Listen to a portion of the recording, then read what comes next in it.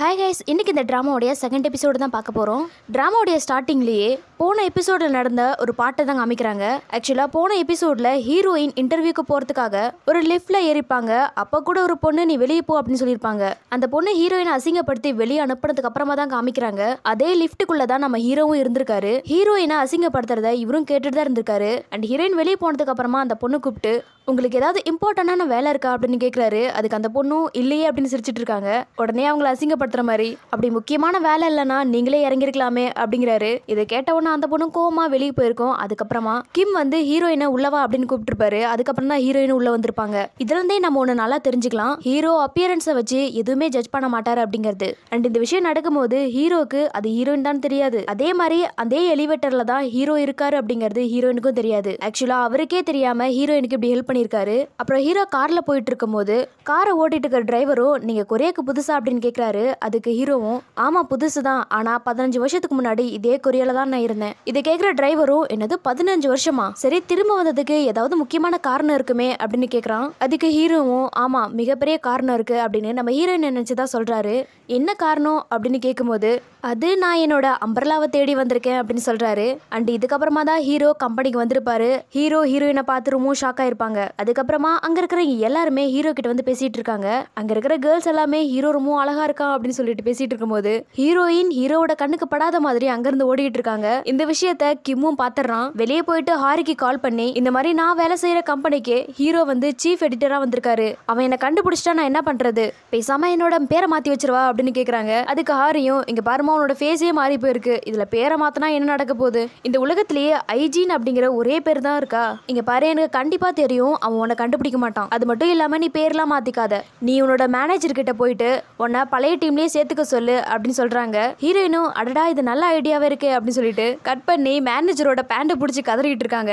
அவரும் முதல்ல பேண்ட் விட்டுட்டு பேசுமா அப்படின்னு கத்திட்டு இருக்காரு. ஆனால் அவங்களும் விடுற மாதிரி இல்லை. இப்போ மட்டும் நீங்கள் என்ன சேர்த்துக்கல அப்படின்னா எனக்கு வேற வழியே இல்லை உங்கள் பேண்ட் உருவிடுவேன் அப்படின்லாம் சொல்லிட்டு இருக்காங்க. ஆனால் அதுக்கு அவரும் இங்கே பாருமா என் கையில் எதுவுமே இல்லை. வேணும்னா நீ ரெசிக்னேஷன் லெட்டரை கொடுத்துட்டு இங்கேருந்து கிளம்பிடுமா அப்படின்னு சொல்லிடுறாரு. ஹீரோயினும் வேற வழியே இல்லாமல் ஒளிஞ்சு ஒளிஞ்சு அவங்களோட கேபினை தான் எட்டி பார்த்துட்டு இருக்காங்க. அப்போ பின்னாடி இது எல்லாத்தையுமே கிம் பார்த்துட்டு தான் இருக்கான். ஆமா இங்க நின்று என்ன பண்ணிட்டு இருக்க? யாரை பார்த்துட்டு இருக்க? அப்படின்னு கேட்கிறாரு ஹீரோயினும் டக்குன்னு பதறி போயிடுறாங்க. நான் யாரையும் பார்க்கலையே அப்படின்னு சமாளிச்சிடுறாங்க. உடனே கிம் ஹீரோயின் கிட்ட உன் பழெல்லாம் கரெக்டா தானே இருக்கு? அப்படின்னு கேட்கிறாரு ஹீரோயினுக்கு ஒண்ணுமே புரியல. ஏன்னா முன்னாடி நடந்த சம்பவத்தையே ஹீரோயின் மறந்துடுறாங்க இந்த பயத்துல. கிம்மும் எதுவும் சொல்லாம நீ புது இன்டர்ன் தானே? வெல்கம் டு எடிட்டிங் டீம் அப்படின்னு உள்ள கூட்டு போறாரு. அதுக்கப்புறம் ஹீரோயின் ஒரு லேடி மேனேஜர் கிட்ட போயிட்டு ப்ளீஸ் மேடம் என்னை மட்டும் பழைய டீமுக்கே மாத்தி விட்டுருங்க அப்படின்னு கெஞ்சுறாங்க. ஆனா அவங்க இல்லை இல்லை அதெல்லாம் முடியாது. குறைஞ்சபட்சம் இந்த மூணு மாசத்துக்கு நீங்க தான் வேலை செய்யணும் அப்படிங்கிறாங்க. எதுக்காக மூணு மாசம் அப்படின்னு ஹீரோயின் கேட்கும்போது அது நம்ம கம்பெனியோட இருபதாவது ஆனிவர்சரி நடக்க போகுது. அதுக்கு இன்னும் மூணு மாசம் இருக்கு. அதுக்கான நிறைய வேலைகள் இருக்கு. அதை நீயும் பார்க்கணும் அப்படிங்கிறாங்க. அதுக்கு ஹீரோயினும் இந்த வேலையெல்லாம் பத்தி எனக்கு ஒண்ணுமே தெரியாது அப்படின்னு சொல்லும் போது உடனே அவங்களும் நிறைய ஆர்டிகல்ஸ் எல்லாம் எடுத்து போட்டு இங்க பாரு இங்க இருக்கிற ஒவ்வொரு மேகசின்ஸுமே முப்பது லாங்குவேஜ்ல டிரான்ஸ்லேட் பண்ணப்பட்டது. ஒவ்வொரு ஆர்டிக்கல்லையுமே ஒவ்வொரு விஷயத்தை பத்தி சொல்லும். ஃபார் எக்ஸாம்பிளா மேக்கப் ப்ராடக்ட் பத்தியும் லேட்டஸ்டா லான்ச் ஆகிற ஃபேஷன் டிசைன் ஹீரோயின்ஸை பத்தியும் தான் இது நிறைய இருக்கும். ஸோ சிம்பிளாக தான் இருக்கும். இதை பற்றி நீ கவலைப்படாத அப்படிங்கிறாங்க. ஆனால் ஹீரோயினும் அதெல்லாம் இல்லை மேடம் ப்ளீஸ் என்னை மாற்றி விட்டுருங்க அப்படிங்கும் போது கரெக்டாக அந்த இடத்துக்கு ஹீரோ வந்துடுறாரு. ஹீரோவை பார்த்த உடனே ஹீரோயினும் அங்கேருந்து குடிஞ்சு ஓடிடுறாங்க. எங்கே போனாலும் இவன் வந்துடுறானே அப்படின்னு நேராக பாத்ரூமில் போய் உட்காந்துக்கிறாங்க அதுக்கப்புறம் ஹாரிக்கு மெசேஜ் பண்ணுறாங்க இந்த மாதிரி நான் இப்போ ஹீரோவை பார்த்தேன். ஆனால் அவன் என்னை பார்க்குறதுக்கு முன்னாடியே நான் டாய்லெட்குள்ளே ஒழிஞ்சிக்கிட்டேன் அப்படின்னு மெசேஜ் பண்ணுறாங்க இதை பார்க்குற ஹாரியும் என் ஃப்ரெண்டு இவ்வளோ பெரிய லூஸாக இருப்பான்னு எனக்கு தெரியாமல் போச்சு. இங்கே பாரு எத்தனை நாளைக்கு நீ ஓடிக்கிட்டு இருக்க போற? நான் சத்தியம் பண்ணி சொல்கிறேன் அவன் உன்னை கண்டே பிடிக்க முடியாது. முதல்ல டாய்லெட்ல இருந்து வெளியே வா அப்படின்னு மெசேஜ் அனுப்புகிறாங்க ஹீரோயினும் இதெல்லாம் படித்ததுக்கப்புறம் ஒரு வெறி வந்து இனிமே நான் அவனை பார்த்து பயப்படலாம் மாட்டேன் அப்படின்னு ரொம்பவும் கெத்தாக நடந்து போயிட்டு இருக்காங்க. ஆனால் ஆப்போசிட் சைடில் ஹீரோ நடந்து வரத பார்த்த உடனே தலை தெறிக்க ஓடிட்டு இருக்காங்க. ஓடி போய் லிஃப்ட்டுக்குள்ள ஏறிக்கிறாங்க. அப்பாடா தப்பிச்சுக்கிட்டோம் அப்படின்னு பக்கத்தில் திரும்பி பார்க்கும் போது தான் அங்கே ஹீரோ நின்றுட்டு இருக்காரு. ஐயோயோ இங்கேயும் அவனா அப்படின்னு சொல்லிட்டு வெளியே போகலான்னு ட்ரை பண்ணுறாங்க ஆனால் அதுக்குள்ளேயே லிஃப்ட் க்ளோஸ் ஆயிடுது கொஞ்ச நேரம் ஹீரோயினும் ரொம்ப அமைதியாக இருக்காங்க. அப்போ திடீர்னு அவங்க போயிட்டு இருந்த லிஃப்ட் வந்து ஸ்டக் ஆகி நின்றுடுது இதனால ஹீரோயின் ரொம்பவும் பயந்து போய் கத்த ஆரம்பிக்கிறாங்க. எங்களை யாராவது காப்பாத்துங்களா நாங்க சாக போறோம் அப்படின்லாம் கத்துறாங்க. உடனே ஹீரோ ஹீரோயினை தள்ளி நிக்க வச்சுட்டு அங்க இருக்கிற ஒரு பட்டனை பிரஸ் பண்ணி நாங்க இந்த லிஃப்ட்டில் மாட்டிக்கிட்டோம் எங்களுக்கு ஹெல்ப் பண்ணுங்க அப்படின்னு சொல்றாரு. அதுக்கு ஆப்போசிட் சைட்ல இருந்து ரெஸ்பான்ஸும் வருது. உடனே ஹீரோயின் ஹீரோ தள்ளி விட்டுட்டு நாங்க எயிட்டீன் ஃப்ளோரில் இருக்கோம். இன்னும் கொஞ்ச நேரம் இங்க இருந்தோம் நாங்க மூச்சு அடிச்சு செத்துருவோம். ப்ளீஸ் யாராவது அனுப்புங்க அப்படிலாம் கத்துறாங்க. இப்படி அவங்க கத்திக்கிட்டே திரும்பி பார்க்கும்போது ஹீரோ முறைச்சிட்டு நின்றுட்டு இருக்காரு. உடனே ஹீரோயினும் அமைதியாயிடுறாங்க. அண்ட் சடனா அங்க லைட் ஆஃப் ஆகுது. ஹீரோயின் ஹீரோயினால மூச்சு விட முடியாமல் ரொம்பவும் திணறாங்க. ஹீரோவும் இதெல்லாம் பார்த்துட்டு உங்களுக்கு என்ன ஆச்சு அப்படிலாம் கேட்டுட்டு இருக்காரு ஆனால் ஹீரோயின் எதுவுமே பேச மாட்டேங்கிறாங்க. உடனே ஹீரோ அவர் போட்டுட்டு இருந்த ஹெட்ஃபோன் எடுத்து ஹீரோயினோட காதல வைக்கிறாரு.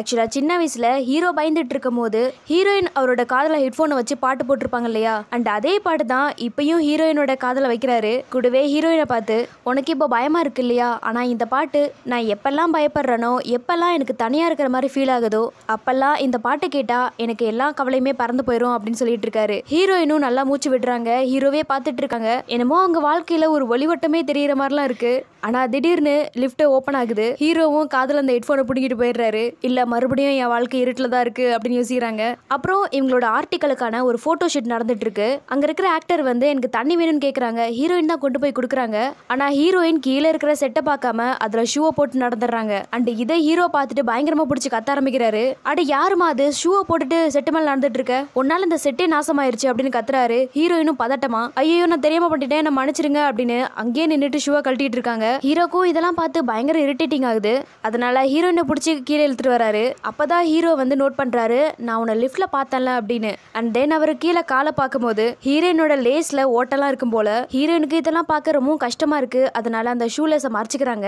அதுக்கப்புறமா அந்த இடத்துக்கு பழைய சீஃப் எடிட்டர் வந்துட்டு அங்க வேலை செஞ்சுட்டு இருக்க நம்ம ஹீரோயினை கூப்பிட்டு ஆமா நீ எதுக்காக இந்த இடத்துக்குலாம் வந்திருக்க? நீ யார்? அப்படின்னு கேட்குறாங்க அதுக்கு ஹீரோயினும் நான் தான் இங்கே புதுசாக வந்த இன்டர்ன் அப்படின்னு சொல்கிறாங்க ஆனால் அந்த சீஃப் ரொம்பவும் ஹீரோயினை கேவலமாக பேசுகிறாங்க இது எடிட்டிங் டீமுமா இங்கே நிறைய ஃபோட்டோ ஷூட்லாம் நடக்கும். நிறைய ஹீரோயின்ஸ்லாம் வருவாங்க. அண்ட் நீங்கள் வேலை செய்கிற இன்டர்ன் கூட அவ்வளோ அழகா இருப்பாங்க. ஆனால் உன்னோட முடிய பாரு பாத்ரூம் கழுவுற ப்ரஷ் மாதிரி இருக்குது. அப்புறம் நீ போட்டுட்டு இருக்கிற ட்ரெஸ்ஸை பாரு பார்க்கவே கேவலமாக இருக்கு அப்படின்லாம் சொல்லிட்டு இருக்காங்க. ஹீரோயினுக்கு இதெல்லாம் கேட்டு ரொம்பவும் கஷ்டமாக இருக்கு. இருந்தாலும் வெளியே எதுவுமே காட்டிக்காமல் இருக்காங்க. அண்ட் அந்த லேடி ஹீரோயின் அசிங்கப்படுத்துறது எல்லாமே ஹீரோ அங்கே நின்று கேட்டுட்டு தான் இருக்காரு. அதுக்கப்புறமா போட்டோ ஷூட்டும் நடக்க ஆரம்பிச்சிருது. ஹீரோயினும் எல்லா வேலையும் இழுத்து போட்டு பண்றாங்க. அதை ஹீரோவும் நோட் பண்றாரு. அப்புறம் ரொம்பவும் டயர்டாக அந்த பஸ் ஸ்டாப்பில் உட்காந்துருக்காங்க அப்போது அங்கே இருந்த ஒரு மாடல் ஃபோட்டோவை பார்த்துட்டு உள்ளுக்குள்ள பல யோசனைகள் அவங்களுக்குள்ள ஓடிட்டுருக்கு.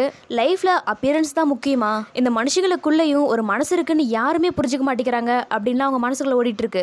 அப்போது அப்போ அந்த இடத்துக்கு ஹாரியும் வந்துடுறாங்க. ஹீரோயின் சோகமாக இருக்கிறத பார்த்து உனக்கு என்னாச்சு? என்ன பிரச்சனை? அப்படின்னு கேட்கும்போது ஹீரோயின் மனசுக்குள்ள ஆயிரம் பிரச்சனைகள் இருந்தாலும் அதை வெளியே காட்டிக்காம ஒரு சிரிப்பு சிரிக்கிறாங்க. ஒன்றும் இல்லையே நம்ம வீட்டுக்கு போகலாம் அப்படின்னு ரெண்டு பேருமே வீட்டுக்கு போயிடுறாங்க. அப்போ ஹீரோயின் மெயில்ஸ் எல்லாம் செக் பண்ணிட்டு இருக்கும்போது ஐயோ போச்சு அப்படின்னு கத்துறாங்க. ஹாரியும் என்னாச்சு? அப்படின்னு வந்து கேட்கும்போது இங்க பாரு ஹீரோ தான் மெயில் பண்ணியிருக்கான். நீ வெளியூருக்கு போறேன்னு சொன்னியே அந்த பிளேஸ்லாம் உனக்கு செட் ஆயிருச்சா? இப்போ நீ எப்படி இருக்க? அப்படிலாம் கேட்டிருக்காரு. உடனே ஹாரி என்ன பண்றாங்கன்னா அவங்க வெளியூருக்கு போன ஒரு போட்டோவை எடுத்து ஹீரோக்கு சென்ட் பண்ணி விட்டுறாங்க. ஹீரோவும் நம்பிடுறாரு. அடுத்த நாள் காலையில ஹீரோயின் கம்பெனிக்கு போறாங்க. ஆனா எப்படா ஹீரோவை ஃபேஸ் பண்றது? அப்படின்னு குழம்பிட்டு தான் இருக்காங்க. அப்போ ஹீரோயினுக்கு பின்னாடி கிம் மெதுவா நடந்து வந்து ஹீரோயினை பயமுறுத்துற மாதிரி கத்துறான். ஹீரோயினும் ரொம்பவும் பயந்து போயிடுறாங்க. அப்போ அவன் கையில வச்சிருந்த சாக்லேட் ஸ்டிக்கை ஹீரோயின் கிட்ட கொடுக்குறான். ஆனா ஹீரோயினும் எனக்கெல்லாம் ஒன்று வேணாம் அப்படிங்கிறா. இது உனக்கு சாப்பிட்றதுக்கு கொடுக்குறேன்னு நினைச்சியா?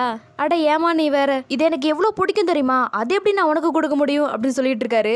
அதெல்லாம் இருக்கட்டும் இதுக்கு முன்னாடி நான் எங்கேயோ உன்னை பார்த்துருக்கனே அப்படிங்கிறாரு. ஹீரோயினும் எங்க? அப்படின்னு கேட்கும்போது ஆ ஏதோ ஒரு கிளப்ல உன்னை பார்த்துருக்கேன் அப்படிங்கிறாரு. உடனே ஹீரோயினும் திரு திருன்னு முழிக்கிறாங்க. ஏன்னா அவங்க முன்னாடி கிளப்ல தானே வேலை செஞ்சிருப்பாங்க.